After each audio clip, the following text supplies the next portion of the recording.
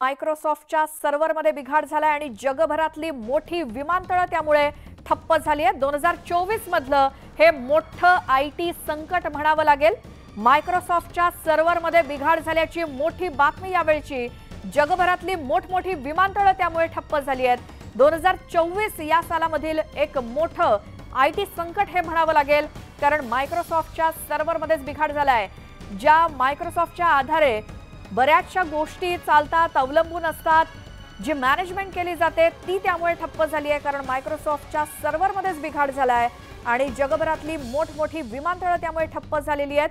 कोणतेही अपडेट मिळत नाही आहेत आणि त्यामुळे दोन हजार चोवीसमधलं हे मोठं आय टी संकट म्हणावं लागेल. मायक्रोसॉफ्टच्या सर्व्हरमध्ये झालेला हा बिघाड. अधिक माहितीसाठी जाऊयात आमचे प्रतिनिधी प्रशांत लीला रामदास. आपल्यासोबत आहेत प्रशांत. मायक्रोसॉफ्टच्या सर्व्हरमध्ये बिघाड झाल्यानंतर काय परिणाम दिसत आहेत संपूर्ण जगभरात याचे परिणाम जाणवणं सुरुवात झालेले आहे. अनेक महत्त्वाच्या बँक्स ज्या आहेत मीडिया हाऊसेस जे आहे एअरलाईन्स जे आहे यांना ज्याच्यावर मोठा परिणाम झालेला आहे. आय टी हब देखील बंद झालेले आहे. खास करून जे ग्लिच आलेलं आहे मायक्रोसॉफ्टच्या सॉफ्टवेअरमध्ये त्याच्या या ग्लिचमुळे साधारणतः देशातील नऊशे अकरा सर्व्हिसेस सध्या बंद झालेल्या आहेत ज्या युएस मधल्या आहेत.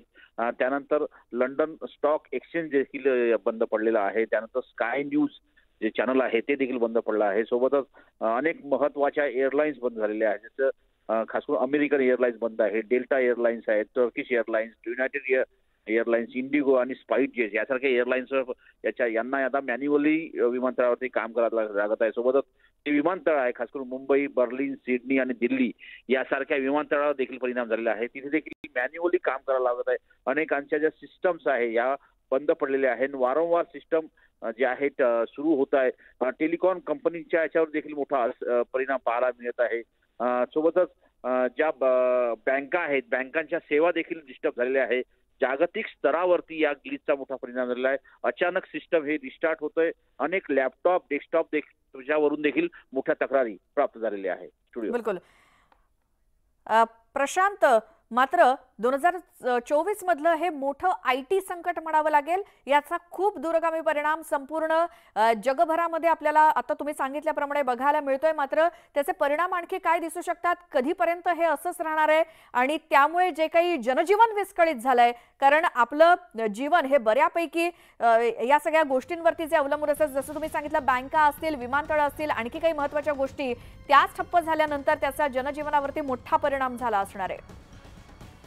मोठा परिणाम झाला. खास करून जर बघितलं तर वाहतुकीच्या खास करून विमान वाहतुकीवर याचा मोठा परिणाम झाला आहे दिल्ली एअरपोर्टने दिलेल्या माहितीनुसार संपूर्ण दिल्ली एअरपोर्ट जे आहे हे चेकिंग जे आहे हे मॅन्युअल पद्धतीने होतं. यापूर्वी हे जे चेकिंग व्हायचं ते सर्व ऑटोमॅटिक पद्धतीने व्हायचं. पण आता मॅन्युअली काम करायचा सगळ्यात मोठा जो परिणाम झालेला आहे हा टी टू टर्मिनलवरती जाणवत आहे. टी थ्रीच्या तुलनेमध्ये टी टूच्या परिणाम याच्यावरती टर्मिनल मोठा परिणाम त्याचा अनेक अनेक प्रवाशांना मोठ्या अडचणी येत आहे. त्यानंतर आता मुंबई दिल्ली आणि त्यानंतर आता गोवा एअरपोर्टवर देखील मोठी अडचण प्राप्त झालेली आहे. हे तर झालं वाहतुकीचं विमान वाहतुकीचं बँका ज्या आहेत त्या जागतिक स्तराच्या बँका त्या देखील अनेक ठिकाणी अड- अडचण त्यांना निर्माण झालेली आहे. सोबतच जे मीडिया हाऊसेस आहेत त्यांना देखील मो- मोठी अडचण प्राप्त झाली आहे. त्यामुळे या सगळ्या याच्यावरती लवकरात लवकर उपाय शोधण्याचा परिणाम सुरू आहे. मायक्रोसॉफ्ट कंपनीच्या वतीनं देखील यावरती उपाययोजना केली जात आहे. लवकर त्याचं यातून दिलासा मिळेल. अशा प्रकारचं वक्त- वक्तव्य खास करून वि- विविध एअरलाईन्सच्या वतीनं देखील आणि बँकांच्या वतीनं देखील करण्यात आलेलं आहे. पण पाहूया किती वेळ लागतंय हे संपूर्ण हे जो ग्लिच आहे हा जो मायक्रोसॉफ्टच्या सॉफ्टवेअरमध्ये ग्लिच जो आलेला आहे तो ग्लिच दूर करण्याला किती वेळ लागतो? स्टुडिओ मायक्रोसॉफ्टचं जे मुख्यालय असणार आहे तिथे तर खूप मोठे मोठा गोंधळ उडालेला असणार आहे. सर्व्हरमध्ये बिघाड झाला म्हटल्यावर संपूर्ण जगभरातली जी सेवा ठप्प झालेली आहे त्यामुळे तिथे फार मोठा गोंधळ असणार आहे. लवकरात लवकर हे सगळं सुरळीत करण्यासाठी मायक्रोसॉफ्टच्या सेंटरमध्ये. बरोबर आहे. खास करून जे आय टी हब आहे ग्लोबल आय टी हब त्यामध्ये याची मोठी अडचण जाणवताना आपल्याला पाहायला मिळते त्यामुळे मायक्रोसॉफ्टच्या अनेक सर्व्हिसेस देखील बंद झालेल्या आहे. आंतरराष्ट्रीय जे मीडिया आउटलेट्स आहेत त्यां- त्यांच्यावरती देखील मोठा परिणाम झालेला आहे. लंडन स्टॉक एक्सचेंजवर देखील याचा मोठा परिणाम झालेला आहे. यावरती हा जो ग्लीच आहे हा काढण्याचा हे दूर करण्याचा प्रयत्न होत आहे आणि या ग्लोबल जो आउटरेज आहे त्याला दुरुस्त करण्यासाठी प्रयत्न केला जात आहे. मायक्रोसॉफ्ट सर्व्हिसेसच्या वतीनं या संदर्भात लवकरात लवकर ग्लोबल सायबर सिक्युरिटी जे फर्म आहे ते देखील यामध्ये कारवा कार्यरत झालेले आहे. आणि हा जो ग्लिच आहे हा तात्काळ दूर करण्याकरता मायक्रोसॉफ्टच्या वतीनं युद्धस्तरावरती प्रयत्न सुरू झालेले आहे. बिलकुल. आणि कशा पद्धतीनं आता हे काम केलं जाईल? अर्थात हे काही तज्ज्ञांकडूनच जाणून घ्यावं लागेल. मात्र सध्या तरी आत्ताची मोठी बातमी ती म्हणजे जगभरातल्या विमान सेवेवरती बँकिंग सेवेवरती शेअर मार्केट या सगळ्यावरती परिणाम झाला याचं कारण म्हणजे मायक्रोसॉफ्टच्या सर्व्हरमध्ये सध्या बिघाड झालाय.